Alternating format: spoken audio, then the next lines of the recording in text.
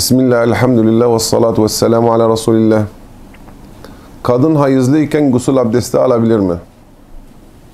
Hayızlı olan bir kadın gusül abdesti alsa bile hayızın hükümleri üzerinden kalkmaz. Tıpkı cünüp gibidir. Hayızın bitimine kadar aldığı gusüller gusül abdesti yerine geçmez. Sadece te- temizlenmiş olur.